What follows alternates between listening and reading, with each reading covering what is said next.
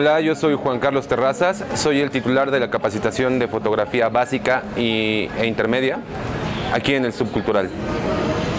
El curso de fotografía básica, prácticamente yo les, yo les enseño a manejar sus cámaras, ya sean tanto reflex como una cámara digital pequeña o como los celulares. Y entonces les enseño tanto reglas de composición como reglas de exposición y cómo pueden ser utilizadas todas estas reglas para que el mensaje que ellos quieran, quieran decir sea, sea más claro y llegue con mayor precisión hacia los espectadores en la capacitación para, para intermedios